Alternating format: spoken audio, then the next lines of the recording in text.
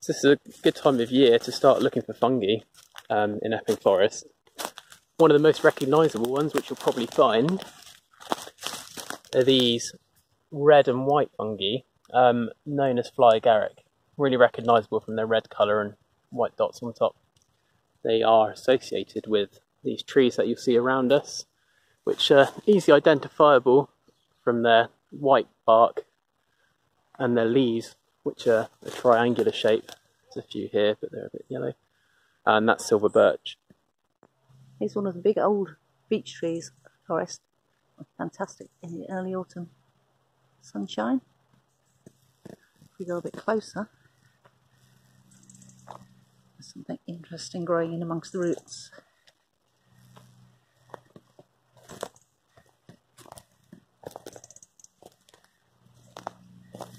This one may be called chicken of the woods. And although it is edible, of course we wouldn't pick it because picking fungi in Epping Forest is completely illegal. So this is one of the most recognisable trees you'll find in Epping Forest. This is an oak tree. Um, you can identify this by its really rough bark with these really deep fissures. And if you're around one while it still has its leaves on, they're really recognisable. Growing on this tree, we have another fungus,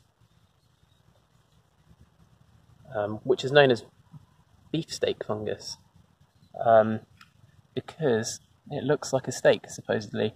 And it does, I don't know if you can see, but it does ooze um, a red liquid that looks a bit like blood. So this is a type of bracket fungus growing on this standing deadwood. This is birch that it's growing on, silver birch.